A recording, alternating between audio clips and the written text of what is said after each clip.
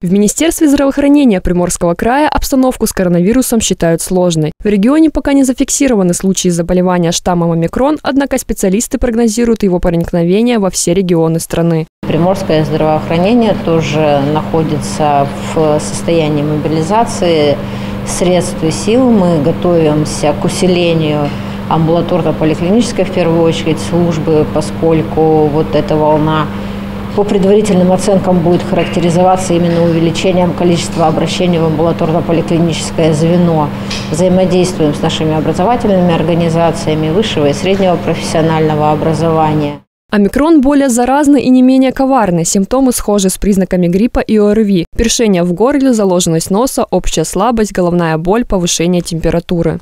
Чем чревато вообще распространение. Не только тем, что мы вот инфицируемся, непосредственная опасность инфицирования, заражения, да, но распространение инфекции приводит к появлению новых мутаций. Это нужно понимать и к новым штаммам. Да.